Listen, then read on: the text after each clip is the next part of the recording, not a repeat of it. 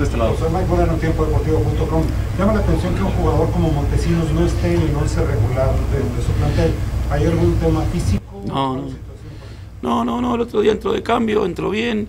Por ahí hoy, hoy, hoy, hoy apostamos a, a, a por ahí a jugar no con extremos, sino con volantes y, y por ahí tanto Fernando es, es, un volante que por ahí viene a jugar más al, al, juego asociado, lo teníamos pensado para los últimos 25, 30, es una cuestión netamente estratégica, por decirlo de alguna manera, ¿no?